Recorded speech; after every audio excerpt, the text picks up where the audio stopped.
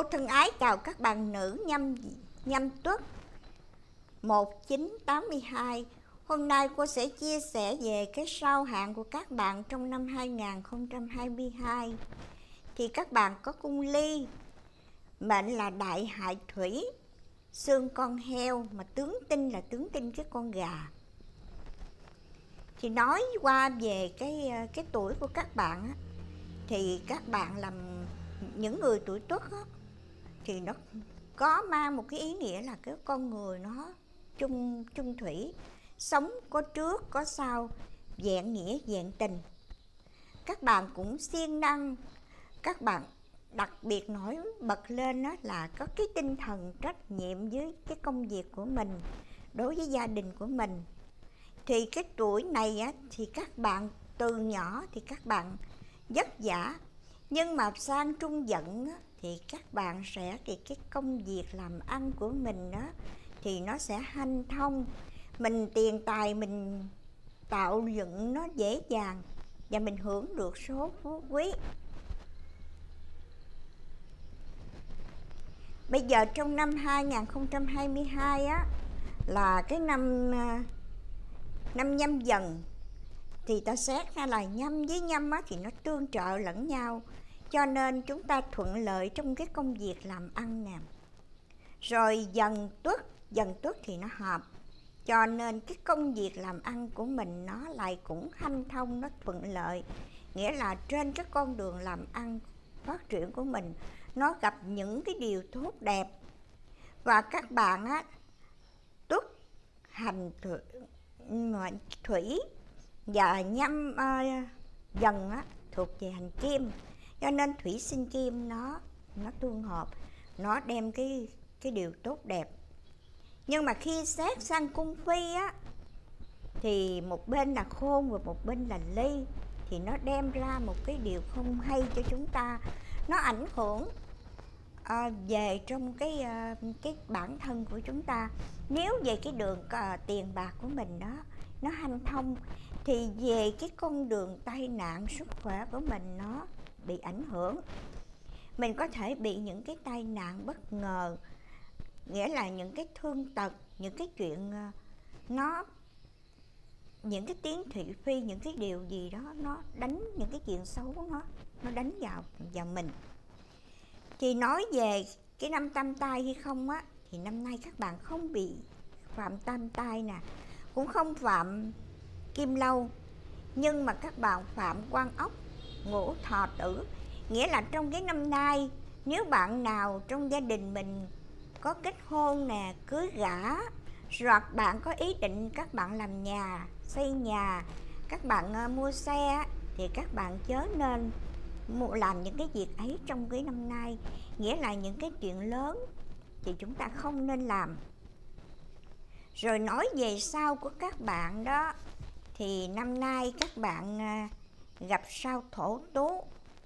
Mà sao thổ tú nó sẽ xấu cho ta ở trong cái tháng tư và tháng 8 thì nó, thao này nó làm cho ta bị hao tài tốn của. Có thể đem đến những cái tai nạn cho cho bản thân mình. Có thể đem đến những cái điều tan tốc trong cái gia đình của mình hay cái người thân của mình và các bạn gặp một cái hạn xấu đại hạn đó là hạn quỳnh tiền. Thì cái này á cái hạn này á nó sẽ làm cho các bạn nếu mà chúng ta có cái bệnh nặng á thì khó qua khỏi nha. Còn những cái người mà phụ nữ mang thai á thì cũng ảnh hưởng nhiều. Rồi nó cũng uh, ảnh hưởng về cái tai nạn xe cộ cho chúng ta nè làm cái việc gì đi sông đi suối chúng mình cũng nên tránh tránh đi xa. Và đó là nói về cái phần thể xác của chúng ta bị va chạm nhưng nó có phần xấu nữa là nó đem lại những cái cái điều tai tiếng về cái tinh thần cho chúng ta. Làm cho chúng ta cảm thấy nó buồn bực lắm. Mình duyên không có chuyện xui rủi từ đâu mà đến, cho nên mình bực dọc, mình không yên khi mà các bạn gặp hạn bình tiền. Thì năm nay á, các bạn lại gặp một cái vận niên xấu, đó là cái vận niên hãm xà tinh. Thì cái hãm xà tinh này nó đem đến cho chúng ta cái ý nghĩa là chúng ta bị giam cầm, bị bị gò bó trong một cái khuôn khổ, trong cái một cái hình thức nào đó mà chúng ta không bứt phá lên được. Thì như vậy thì mình biết là cái công ăn việc làm của mình á thì nó ở đâu chúng ta để yên đó. Đừng phát quy lên mà nó không có tốt nó không có thuận lợi. Đã xấu rồi á thì cũng cũng không cất nhà nè không đi xa. Mà cái công việc làm ăn của mình ở đâu thì mình để yên như vậy. Mình không phết trương lên mình không kinh doanh mình không làm mạnh đổ tiền mà đầu tư um, cho cái, cái công việc trong cái năm nay. Thì nếu mà xét về cái tuổi nhâm tuất trong cái năm 2022 giữa nam á, và nữ á, thì là nữ nó nặng hơn nam. Tại vì các bạn là thấy là cung phi là ly nó hai cái cung phi khôn và ly nó đối đầu với nhau. Rồi các bạn là hạn thổ tố nè nó hao tiền tốn của nè. Nó đem đến những cái tai nạn, những cái điều thị phi, nghĩa là nó dồn dập cho chúng ta. Thì tiền bạc thì có, nó hanh thông về cái đường tiền bạc, nhưng mà nó xấu về cái đường sức khỏe, về cái đường tinh thần cho mình.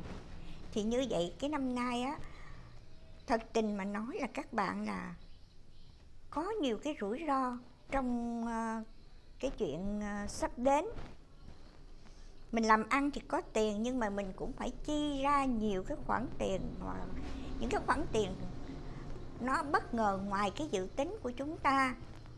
Thì các bạn chú ý như thế này. Thì đầu năm á các bạn biết mình sao xấu thì các bạn nên chú ý cuốn sao giải hạn. Và mình chú ý là các bạn là cái sao um, sau thổ tú. Thì cái ngày 19 tháng 1 các bạn quay hướng về cái hướng Bắc và các bạn thắp năm ngọn nến mà chúng ta thành tâm uh, cúng sao giải hạn. Các bạn nên tự cúng đi. Đừng đừng ý y. Ý y của thấy nhiều người ý y lắm. Mình bị sao nặng vậy nhưng cứ ý y cứ đem gửi chùa.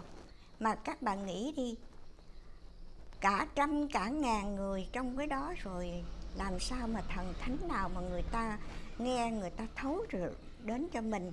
Thì mình phải tự thân, lập thân, tự mình cầu khẩn thì nó nó tốt hơn đó các bạn. Thì gần cuối năm á, thì cô sẽ có những cái bài chia sẻ về cái cách cúng sao hạn cho cái tuần lợi sau. Thì các bạn chú ý để mà các bạn đón xem nha. Bài chia sẻ đến đây là hết.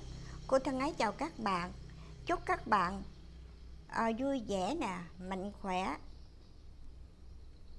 Trong một cái à, năm 2022 nếu các bạn thấy những cái chia sẻ này là hữu ích nó giúp các bạn thì các bạn hãy bấm like và chia sẻ cho nhiều người biết nhé. Thân ái chào các bạn.